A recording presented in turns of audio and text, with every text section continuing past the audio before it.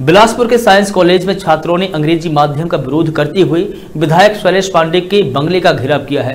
प्रदर्शनकारी छात्रों ने कहा कि जो छात्र शुरू से हिंदी माध्यम के ज़रिए अपनी पढ़ाई कर रहे हैं, अचानक से कॉलेज अंग्रेज़ी माध्यम करने जा रहा है, जिससे उनकी पढ़ाई और करियर पर असर पड़ेगा। दरअसल बिलासपुर शहर के E Raghavendra Rao PG science college को राज्य सरकार ने आत्मानंद अंग्रेज़ी माध्यम महाविद्यालय में परिवर्तित करने की घोषणा की है, जिसके बाद शासन और महाविद्यालय स्तर पर इसकी प्रक्रिया शुरू कर दी गई है। इसके लिए महाविद्यालय के शिक्षकों और छात्र छात्राओं से सहमति, असहमति पत्र भी लिया जा रहा है। लेकिन कॉलेज में पढ़ने वाले छात्र इससे सहमत नहीं हैं। छात्रों का आरोप है कि इसके लिए उनके करियर पर पूरा दबाव बनाया जा रहा है, लेकिन उनके करियर पर भी इसका असर पड़ेगा। छात्र विज्ञान महाविद्यालय को अंग्रेज़ी माध्यम, महाविद्यालय बनाने के पक्ष में नहीं है।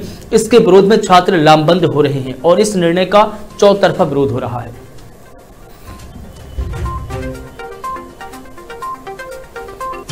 साइंस कॉलेज की कुछ नीतियाँ हैं, साइंस कॉलेज का भी नाम बदला है, उस पर पढ़ाई का जो माध्यम है भाषा का, वो बदलने वाला है, उसको लेके विधायक महोदय के नाम पर ज्ञापन आज दिया गया है। विधायक महोदय के निवास का भी, घेराव का भी प्रदर्शन किया जा रहा है। तो संबंधित जो भी ज्ञापन है, वो ले लिया गया है, संबंधित विभाग को विधिवत माध्यम से प्रेषित कर दिया जाएगा। के साथ, साइंस कॉलेज के छात्रों के साथ जो अन्याय हो रहा है, उसके लिए लगातार एक महीने से प्रतिबद्ध तरीके से चरणबद्ध आंदोलन कर रहे हैं, लेकिन उन लोग का कोई निराकरण नहीं हो रहा है। हम लगातार उनके साथ जो अन्याय हो रहा है, उसके, उनके साथ खड़े हैं, उस मुद्दे को लेकर हम आगे हैं।